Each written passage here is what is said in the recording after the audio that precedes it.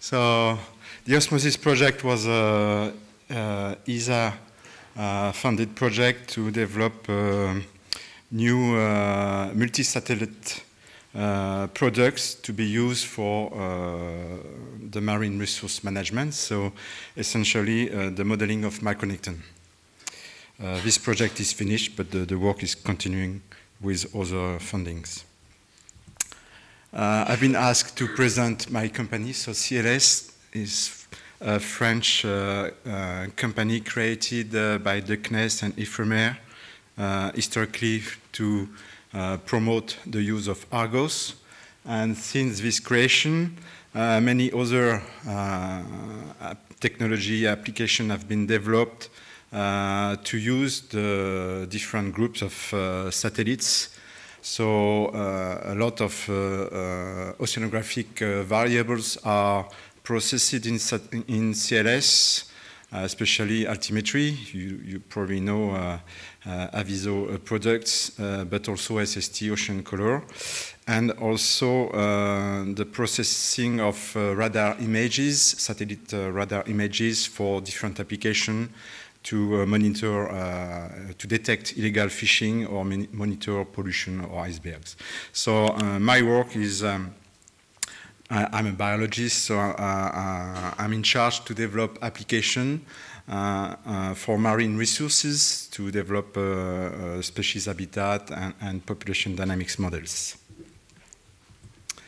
So today I will talk about micronekton. So micronekton is a uh, a term to, that we uh, apply to uh, all small organisms in the ocean, whatever the species, shrimps or squids or fish, that are the prey of large animals that we are uh, usually interested in, either because they are exploited uh, species like tunas or protected species. Uh, we don't know a lot on this micronekton. And uh, despite that it's a very uh, uh, uh key uh, component of the system, so uh, I started, what do we know? Is coming either from net trawling, but obviously it's a, sparse sampling in the ocean, or from acoustic, so using echo sounders on, on board a boat, you, you can uh, uh, measure the, the intensity of the acoustic signal, which is a proxy for the abundance of the, um, okay, uh, of these organisms. Obviously, uh, it, it, ideally, you, you should combine both uh, techniques to know what uh, kind of species you have in the acoustic signal. So I'm working on a, a model of these organisms uh, it's a quite simple approach. So based on this knowledge we have on micronekton, uh, the model uh, represents different groups that are represented here to um, uh, uh, simulate, because these organisms migrate every day and night uh, between the, the surface during the night and the deep layer, so the mesopelagic, lower mesopelagic layer during the day. Uh, so the model represents these different groups. So there are some non-migrant organisms that you can see here, or uh, migrant organisms.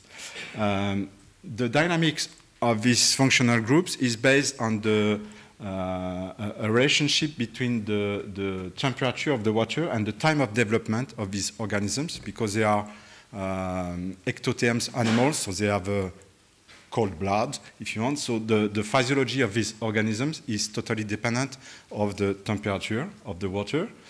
Um, and of course, they are very small, a few uh, between one or 10, 10 centimeters, 20 centimeters maximum. But uh, so they are very sensitive to the, the currents. And uh, to finish, so the, the, the energy source for these organisms, of course, is the primary production at, at the base of the food chain. So uh, we need temperature, currents, primary production to uh, simulate these uh, uh groups of organisms. And the model is a Eulerian approach, so using advection diffusion uh, equation to uh, simulate the dynamics of these organisms. So at the end, the model uh, sorry. Okay. The model uh, provide uh, production and biomass of these six functional groups. You see an example of the two, uh, uh, two components in the surface or the, the, the deep layer. Uh, and so the osmosis project was to, to test the different forcings in terms of temperature uh, and currents, and also ocean uh, satellite derived primary production, uh, to run this model and see if we, we can evaluate the, the quality, the, the, the, interest of these forcings and the difference between, between them. So we use the uh, GLORYS reanalysis, the version 2.1, and uh, uh, also uh, the um, product, which is now called Glo Globe, Globe Ops. I think I made a mistake. And that has been presented by Stephanie uh, uh, on Monday. So just uh, a brief reminder, this uh, product, Glo Globe Ops, is based on, the, on data, altimetry, and SST, uh, so it's uh, much closer to the data uh, than the, the, the, same variables produced by the GLORYS reanalysis and the operational model. Okay, so before that, we did a sensitivity analysis of the micronekton model.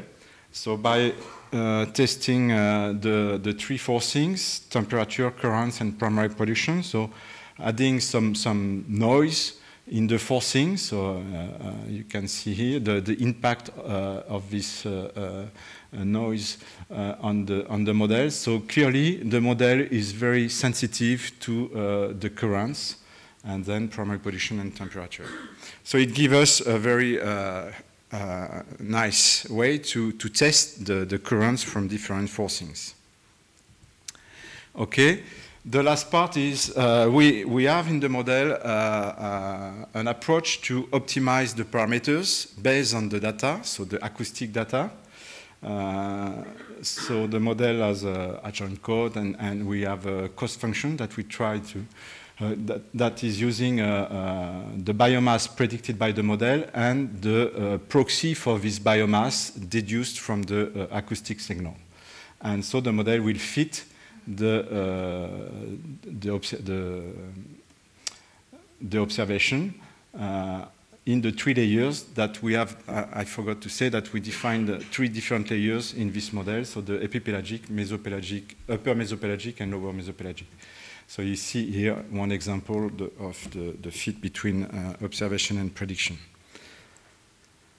Uh, okay, so we use a, a data set uh, with different uh, acoustic transect in the Southern Ocean, uh, working with colleagues, uh, Australian colleagues who have developed a monitoring project uh, in the area, and also because the, the French program with IPEV as a regular transect between La Réunion and Kerguelen area. So we have a, a, good data set of acoustic transect that is used to test the, the, the model.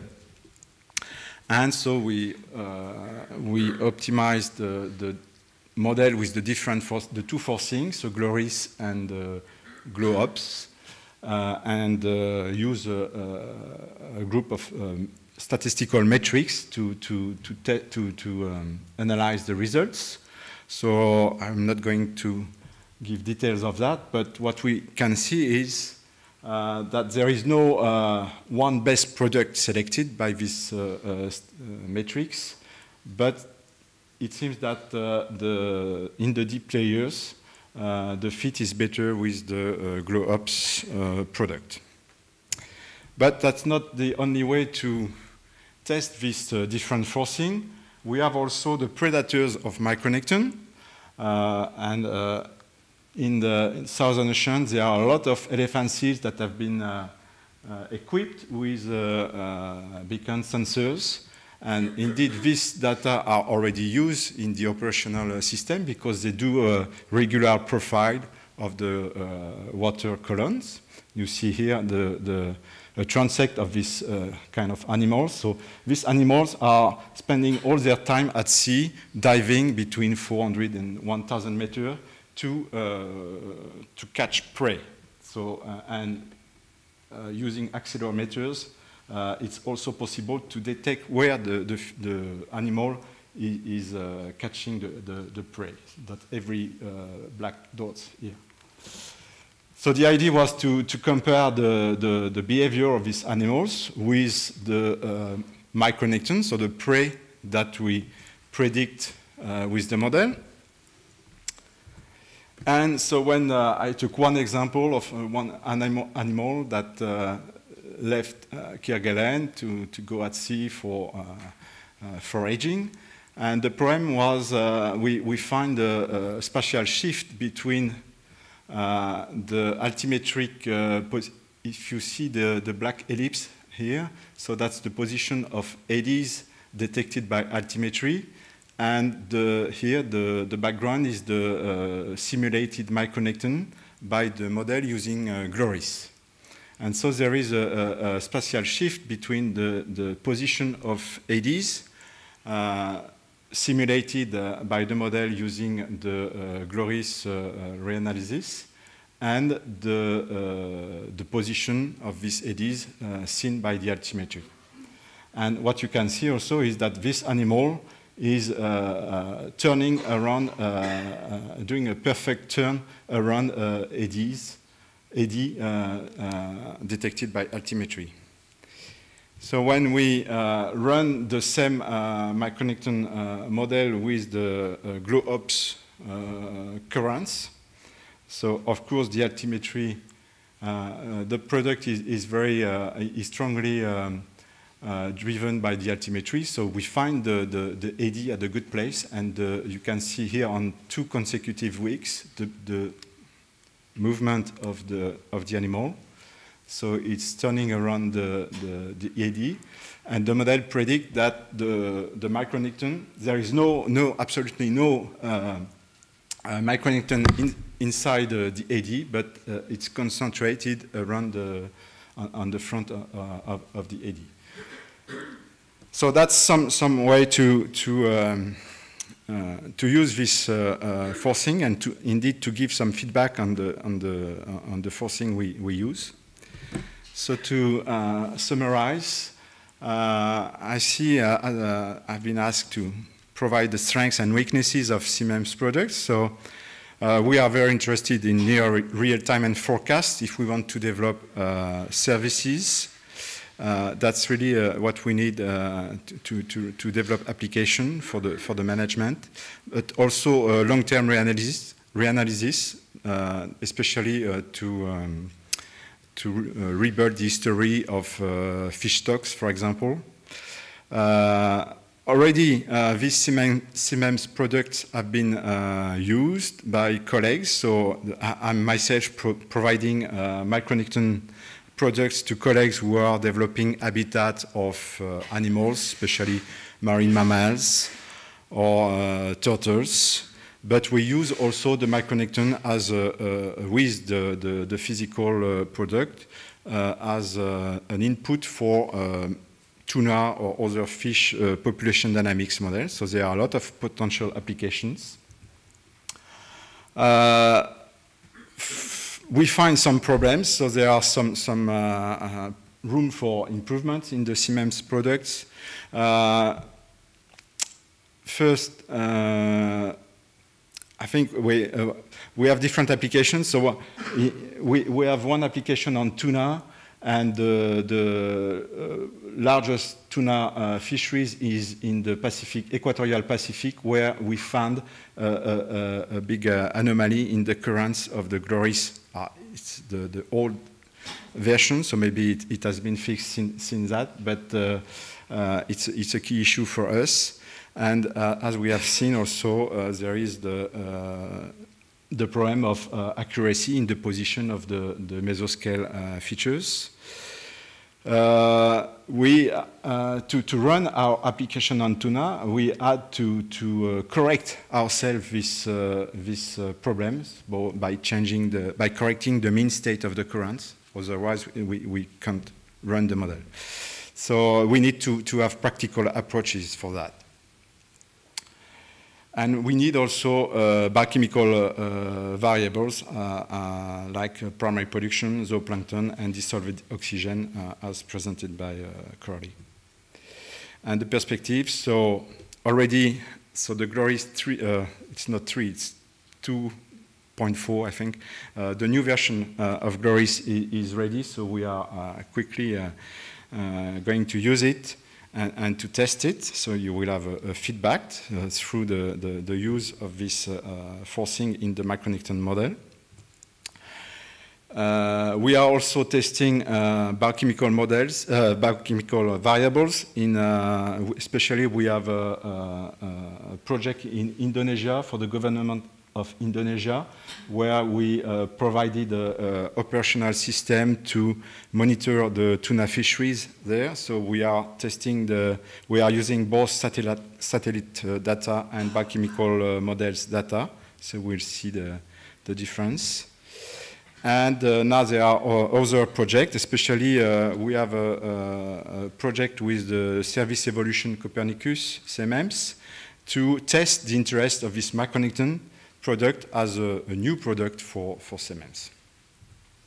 And thank you.